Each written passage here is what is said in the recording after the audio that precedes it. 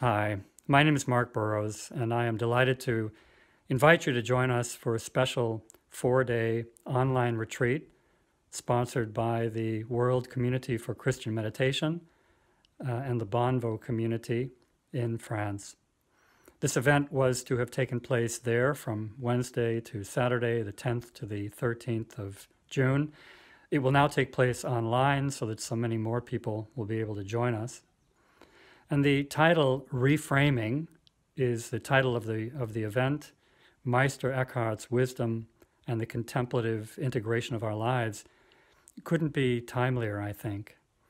In a period of our cultural history, of our shared history, when we're going through a tumultuous and anguish, anguishing epic, uh, given the COVID virus and its menace to our health and well being, and really to the fiber of our social life. How do we find a way to connect with the divine beauty within us and, and in this world around us, and of course with each other in such a time as this?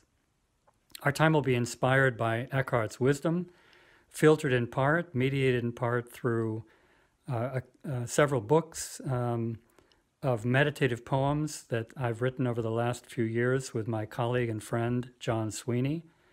One called Meister Eckhart's Book of the Heart, and the second, which came out last year, Meister Eckhart's Book of Secrets.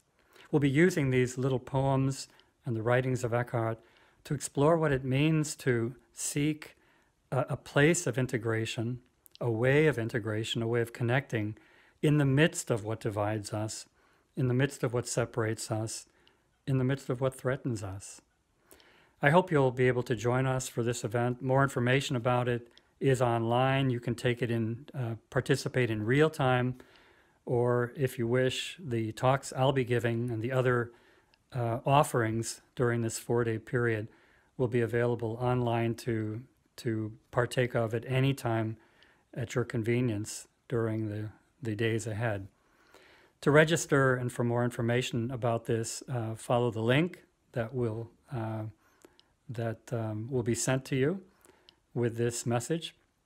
I hope I'll see you and be able to greet you this coming Wednesday and look forward to exploring what it might mean to seek a healing path, a connecting path, uh, an inspiring path in unprecedented times like this.